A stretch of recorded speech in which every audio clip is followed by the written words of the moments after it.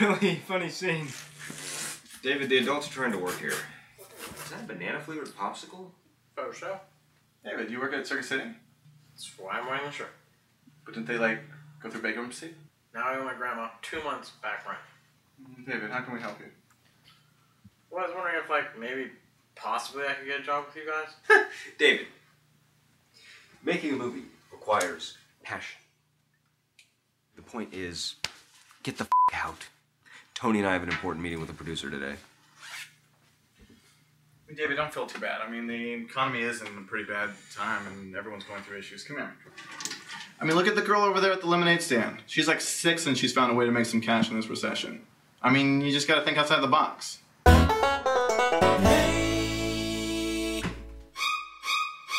What in the name of the Lord Jesus happened here? I made a banana pop. And this happened here in my kitchen for what reason? Well, Grams won't let me use the kitchen ever since the so-called tragedy of Thanksgiving 01. Who's my little cutie, my little baby? The bird's done. It looks really juicy. Um, all this crap better be cleaned up by the time we get back because Jeff cannot come in here and see this. Chillax, bro. It'll be squeaky clean. Okay, great. See you then. All right, we've got one hour. Okay, but no distractions now. No distractions. Okay, so We're good.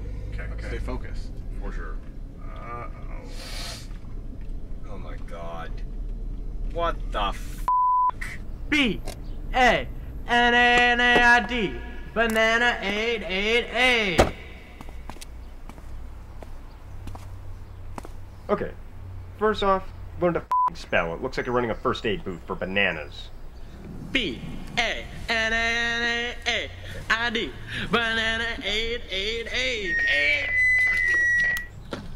Dude, what the hell? Tony told me to think with some boxes, so that's what I did. I got him out of your garage. Uh, I said think outside the box. David, is that gasoline? Yeah, it's for the tiki torches. Sundown special. Bananas go brown, price goes down. That's pretty dangerous. I don't get it though. Why is everyone going to her stand and not mine? What does she have that I don't? David, I'll tell you what she has. She has a product that exists in reality. You cannot make banana aid. There is no juice in a banana, it just mushes. Stop it! It can't be done! You're not getting any juice! Let go! F you! Just let him go for half an hour. He's innocent. Just he's gotta learn somehow. He is not innocent. He baked a child. Believe me, this will come back to bite us in the ass. David, do you think you can have it wrapped up in like half an hour? Yeah.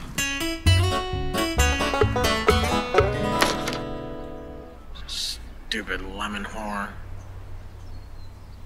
Seducing all her customers with cuteness. Bitch.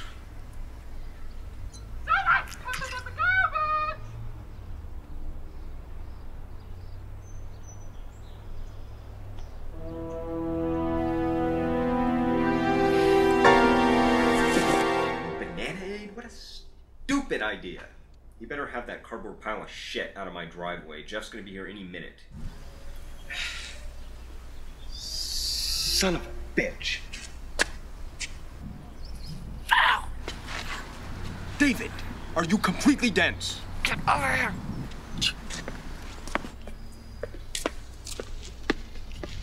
What are you doing? Over here. Look, I put a whole bunch of whiskey and a whole bunch of sleeping pills in her product. Wait, is that Jeff? Is it?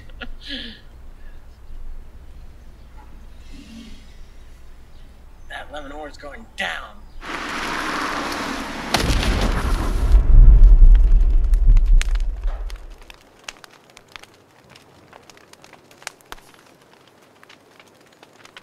Mr. Snooky's face bloated off.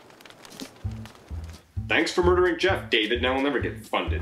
Well, he deserved it for giving into that citrus temptress. Now he'll never experience the true joy of banana egg. Oh, you mean your picture of baby food? Guys, at least we learned something today, alright? One should always strive to achieve something through honest work. Or never mess with boomerang shaped fruit, because he'll come back and burn the face off of your monkey. That's not a fing moral. I'll burn your face off.